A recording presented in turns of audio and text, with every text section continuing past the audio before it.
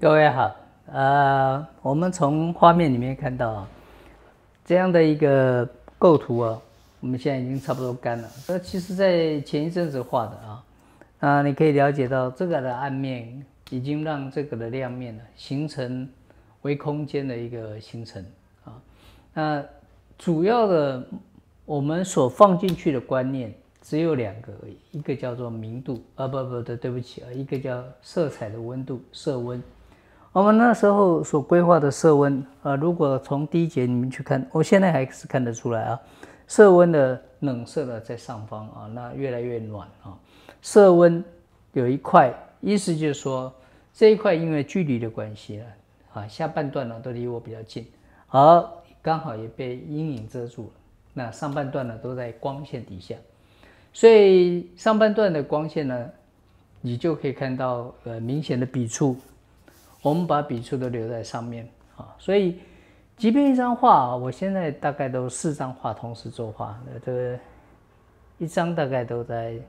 三十到四十号左右哦，或者五十号，我不知道，因为它比较长。不过不管在任何一阶段，啊，可以从自己的笔触里面读出来，我们我当初的想法，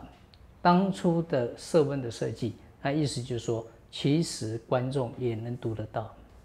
读得到的意思，并不是你给他一本参考书，而是这种色温是来自于大自然它所呈现的。好比如说你在暗暗暗的地方了，你就看不到这种笔触。好，你在暗的啊，这么说好了，如果你在码头啊，你看到那个码头下面的水啊，如果你在晚上，你八成看不到那个这个波光粼粼的样子啊，只有在白天才看得到。为什么？因为光线的关系。好，所以我们把光线留在这里的时候，那这个地方呢就不会有很明显的笔触，而是借由一点点的光影明度来表达。好，所以有了色温，有了明度，那我们后面呢，慢慢慢慢的再追加一些灰跟彩之间的关系，好，最后再堆叠上 H，那这幅画呢就会形成一个。往后延伸的空间，左右不同的空间，以及前后不同的空间，哈。那我们尽量能够在一张画平平的画布里面，去创造一个立体的东西，啊，这就是我们希望用大自然的原理，我们去创造出来。